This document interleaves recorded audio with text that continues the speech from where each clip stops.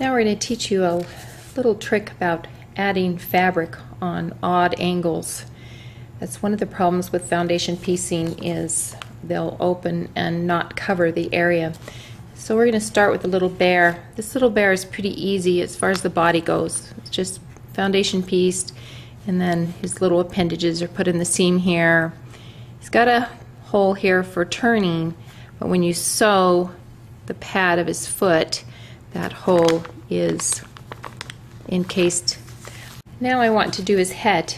And I've placed my number one fabric right side away and I've basted where the ears come into the seam so that that location is transferred to this fabric side. I'll place the ear, the ear openings quarter of an inch past that basting.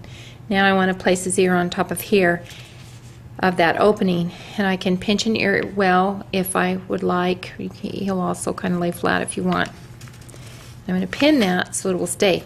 But now I need to foundation piece this area number two and it's an odd angle. So I'm going to place, to do this I'm going to place my fabric that I cut for number two over the area number two, right side up, as if that's where I want it to stay. Then I'm going to crease the line on that ear.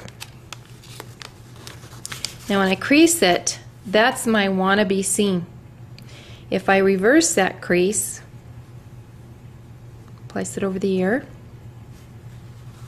now just carefully open it.